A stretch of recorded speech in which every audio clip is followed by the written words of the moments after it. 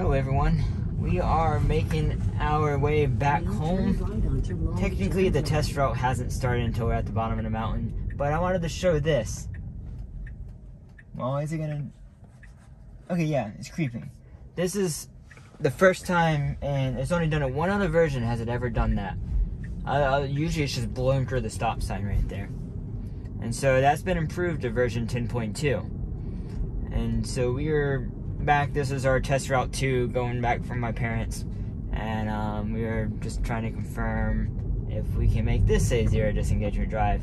I've been pretty pleasantly surprised with 10.2. I'm pretty happy.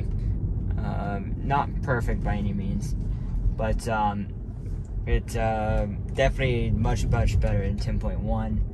Uh, and really, it could have been uh, debatably not better in some areas and better in other areas than 10. Point, uh, oh, like that stop sign right there, better than 10.0. Uh, that being said, hopefully 10.3 or whatever version after this is gonna be the next level that makes it just better than any previous version. That's what I hope. This is what it messed up. Okay, we're good to go. Flying out of that turn. And then we're getting a lot of phantom brakes still. And I'm not the only one reporting that. So this just, I think that was an, that was an e-tron. It's the first time I think I've seen one driving. Uh, yeah, this uh, this is reported. Everyone seems to have a lot of phantom brakes with this this version, so it's not just me. I thought about recalibrating the cameras, but I'm pretty confident um, that it is not the camera's uh, calibration causing the issue because it phantom brakes when there's a car in front of me.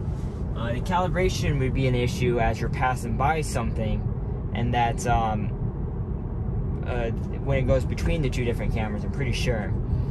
Uh, now, it could be wrong, but um, I'm probably not going to calibrate the cameras, mostly because it it kind of scares me that it says up to 100 miles, even though it's usually about 15 miles or so that you have to drive manually before it is good. It's just, ha- but it can potentially be up to 100 miles. I don't. That would take me days. I don't. I don't daily drive, so it would take me a long time. I don't think I even did 100 miles all today. All right, trying to keep my dog from licking his sore.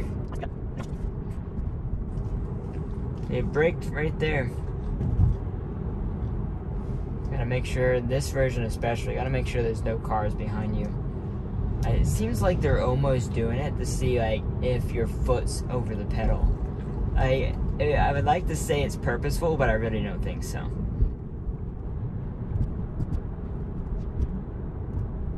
See if it stops at this stop sign here. Didn't even see the stop sign. That's probably a good thing. Maybe they fixed it. Unfortunately, the car in front of me was slowing down. I didn't seem to stop for the stop sign. So that's good. I'm going to have to, obviously, I'm going to have to do this route again uh, to confirm that without a car in front of me. This is, it's slowing because of the car in front of me, but this is, oh, I had to press the accelerator there. It definitely braked too hard there. Don't, this is a yield, not a stop sign. Okay, so I'm having to get it over here, and I'm gonna go ahead and go get all the way over. This is how it should do. It should, should go, go ahead and get into the far left lane right here. Now bear right onto North Church Street. Uh, I don't. As we know, if you've watched my videos, this is not the correct lane to get in, especially with high traffic. I'm gonna manually get it to go back over again when this car goes by me. It needs to get in the left lane and stay there. And it just frustrates me that it won't listen to me. Um, and this is the first time today where it wouldn't let me cancel that lane change. I did, I pressed the stalk and it just still decided to get over in the right lane. And see, as you can see, we have a left turn. So the reason it got in the right lane, I have no idea. Of course, now we're at a yellow light. Yeah, the only reason I think I accelerated faster here is because the car in front of me decides to. I don't. I, I honestly don't get why humans do that. I've been uh, especially taxi drivers. It's so bad. Just why accelerate full speed up to another red light? Just kind of coast to the red light. Like I don't like. It's so much more wear and tear in your car. It's waste of fuel. It is not comfortable for passengers. So I just don't. I don't get why people do that. They just have to speed up and get to a red light. Why not just coast until you get up there so then you just casually pull up to the light? 500 feet, turn left onto 6th Avenue West. Okay, that's good. Gonna turn on the blinker, no blinker. Turn left onto 6th Avenue Not to say that a lot of cars don't turn the blinker on there. You should, of course, turn the blinker on there. Let's see if it sees the speed limit sign for the first time ever. It can see a 20 here, but it does not register the 20 on the screen for whatever reason. The map data overrides it, and that that's a clear problem. Like it registers it finally now here, but that's based on map data. Every time previously, it would always change to 20 right about this area it just doesn't register even though it shows a 20 on the screen it doesn't register as 20 mile an hour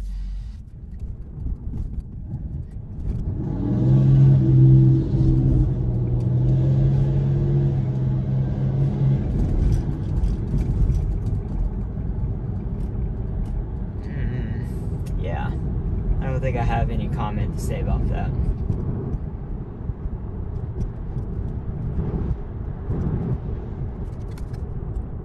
So it needs to stay in this lane and not change lanes.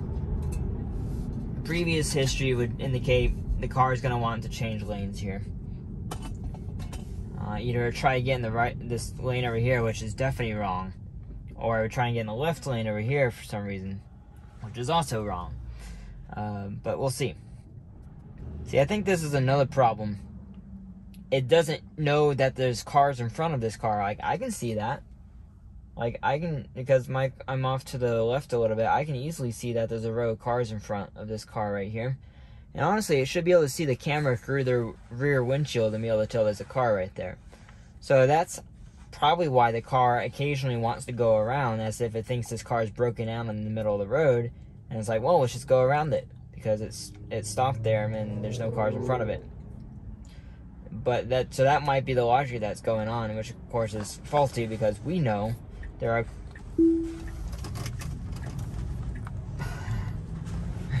exactly what my point proven. Um, it tries to go around. It's it does it seems to like initiate it once we start moving. Like it's it doesn't like yeah because this is a right only turn lane. I know it says straight right here, but it just continues into a right only turn lane. There's that I don't know why those are marked wrong because it really it you have to get out back into this lane unless you want to go into the mall. As you can see right here, this is the right only turn lane. So there's no reason I should get in that lane without getting back into this one again. Unless I'm just trying to pass someone on the right, which you're not supposed to do.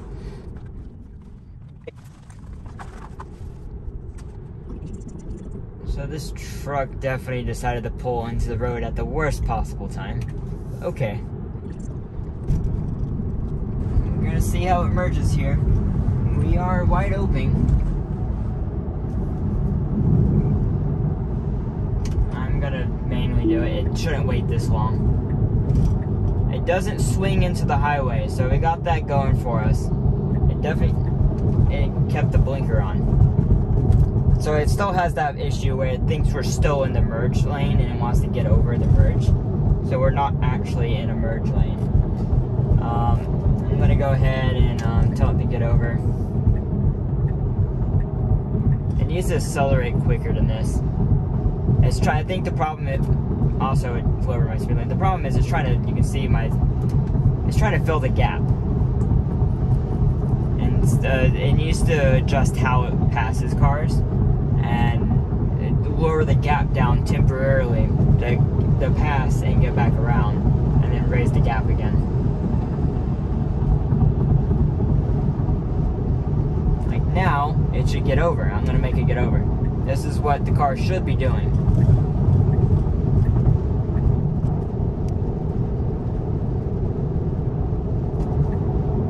And again, catching up to this car at a reasonable speed, so I should go ahead and change lanes. They've adjusted it again. I'm on the mild setting, so I'd rather just not change lanes that often. So maybe they've adjusted to be actually mild. So it would have to be several mile an hour under the speed limit before I would actually not change lanes.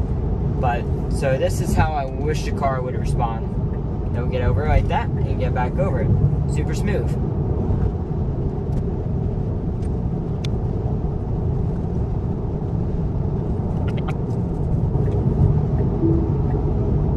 This was a And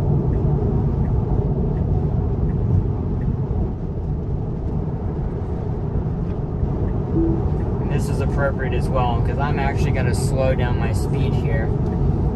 The speed limit's 55 up ahead. I'll probably go, of course, a little bit more than that, but um, we, there's usually it's quite often, especially with construction. Now there's construction on this section right here that we saw in the first video of this morning. This, of course, this video will be posted later in the week, but um, just you gotta. There's gonna be there's probably police officers watching everything else, so you're probably really gonna just want to go to speed limit now.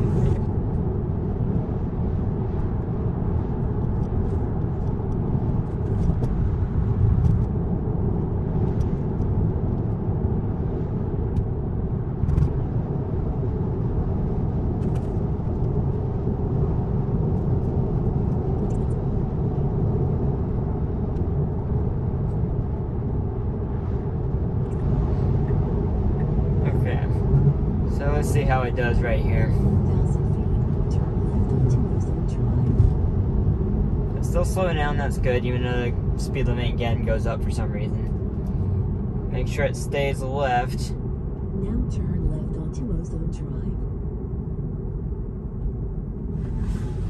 No, no, no, no, no, no. Okay. As you can see, it still wanted to turn right. It like nav said left. It shows left. I I don't I don't understand why left to right is so. I I mean, obviously, computer intelligence is difficult. Okay. There's no one coming, so I tapped it like I was showing on the screen. That was a good acceleration. Of course, speed limit is wrong. Um, yeah, I don't understand uh, the why that's such a difficult problem. Uh, just from left to right, I'm like, left is that way, right is that way. uh, I don't know. Um, obviously, it's probably a lot more complicated in the back end of things than what I'm trying to make it out to be. Uh, otherwise, everyone, that uh, was wow. I'm my memory is terrible today. I think that was zero disengagements. Um, it almost had one. It was so close to having a disengagement there. Um, but it, it managed to correct itself um, with the lane change it tried to do when I was explaining that. But yeah, um, Pleasantly happy um, with 10.2. I, I think it, it, we're back to where we should be um, as a baseline. And I'm expecting to be the two steps forward, one step back with every update going forward. Uh, I'm hoping to see that, just see improvements with each update. Eventually, there's not going to be many improvements left. So we're going to get there, and it's going to be awesome. Hope to see you in the next video, and I appreciate you all watching. Bye.